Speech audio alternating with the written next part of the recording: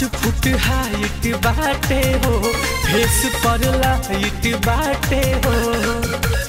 हाँ हाँ और सही और बढ़िया बढ़िया गाना सुनने खातिर और सब ये स्पीड रिकॉर्ड भोजपुरी चैनल के सब्सक्राइब करी लाइक करी कमेंट करी शेयर करी धन्यवाद।